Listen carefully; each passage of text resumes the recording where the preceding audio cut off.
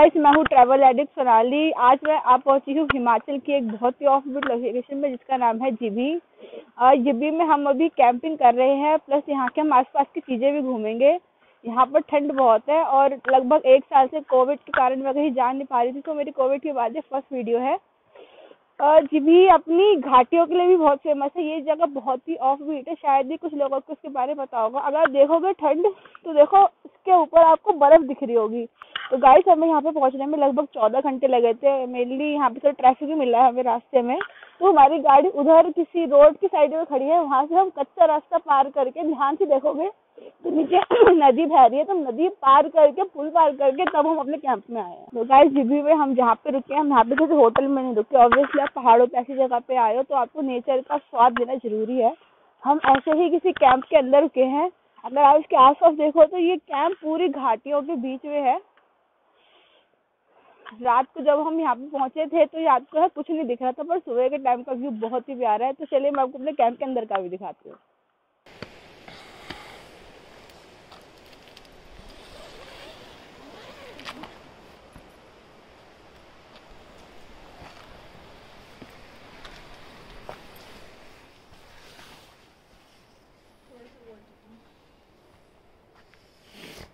ये है हमारा कैंप ये रे बटन यहाँ पे लाइट वाइट जलाने की पूरी व्यवस्था है। प्लस यहाँ पर अटैच बाथरूम है, इसके साथ आपको नीचे जाने की कोई ज़रूरत नहीं है। यहीं पे अपना बिज़नेस करो और चलो मेरे को। तो यहाँ पे आके बड़ा अच्छा लग रहा है। अलग सी फीलिंग है।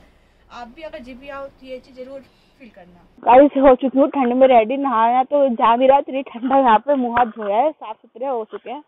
अब चल रहे हैं हम लोग यहाँ पे थोड़ी फ़ेमस जगह है जिसको कहते हैं जलोड़ी पास ऑल दो यहाँ से गाड़ी चली जाती है, वहाँ से एक लेक है लेक करके कहते हैं उसे, वहाँ से पाँच किलोमीटर पे है वो तो चलिए दोनों जगह डिस्कवर करते हैं।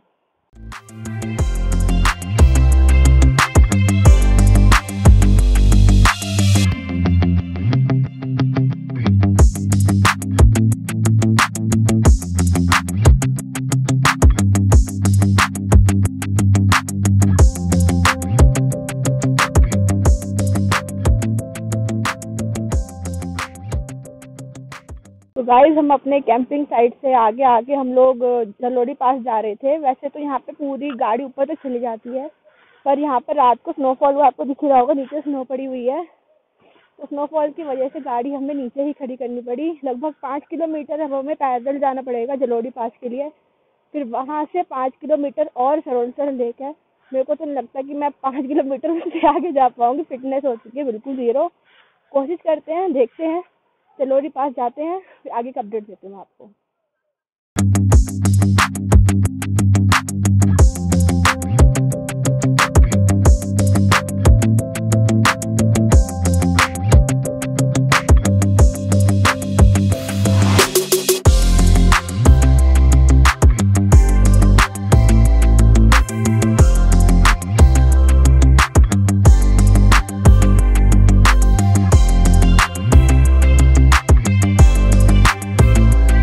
गाइस लगभग हम एक डेढ़ घंटा हो गया चलते हुए। दो ढाई किलोमीटर हम चल चुके हैं। तीन, साढ़े तीन किलोमीटर अभी बचा है।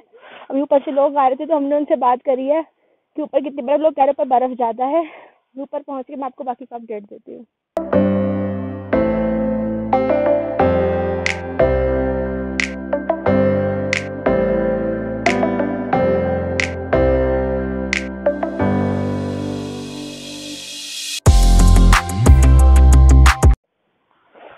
गाइस बहुत ज़्यादा ठंड हो रही है और यहाँ से मेरे घर लगभग पाँच सौ छः सौ मीटर ही बचा है।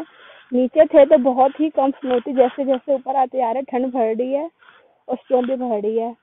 मेरे को लगता है कि वहाँ पे शायद ऊपर प्लेन एरिया होगा और थ्री सिक्सटी व्यू होगा। तो बस, अब अगला स्टॉप वहीं पे है तो वहीं पे चल के देखते क्या है उधर।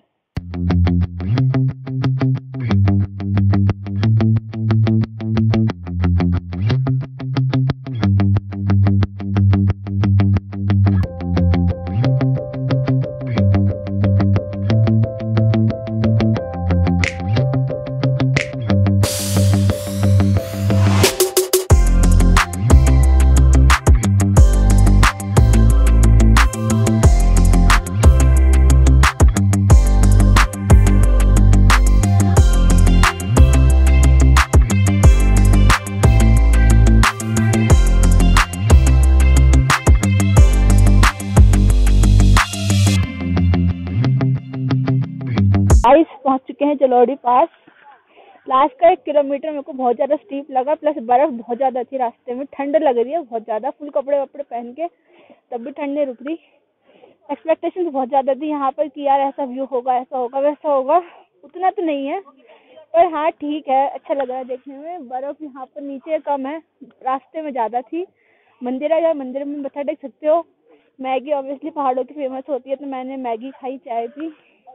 बाकी ठंड बहुत है। और अगर आप यहाँ पे जैसे हम, हमारी गाड़ी हमने नीचे ही खड़ी कर दी, उसके बाद हमने ट्रैक करा है। अगर जैसे बर्फ़ नहीं होती तो आप अपनी गाड़ी लेके भी ऊपर आ सकते हैं।